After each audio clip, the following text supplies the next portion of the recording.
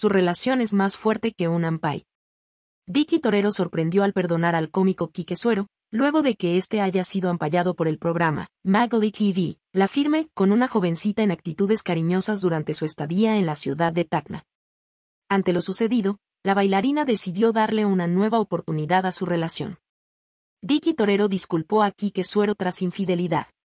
Vicky Torero enfureció en vivo días atrás al enterarse de la infidelidad de Caxuero en el programa de Mago de Medina y se retiró del set de televisión luego de propinarle una cachetada al humorista. Sin embargo, esto habría quedado en el pasado, pues la mujer aseguró que el cómico está haciendo varios méritos para obtener su perdón, como cocinarle y cantarle. Yo tengo un hogar que por cinco segundos de un error tal vez que cometió Quique, no vamos a echar a la basura los planes que tenemos. No es perdonar, es que vale más la familia. Yo no voy a pisar el palito, son tres años de relación, un hogar.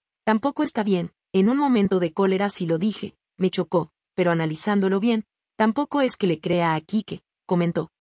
Vicky Torero toma medidas tras Ampay.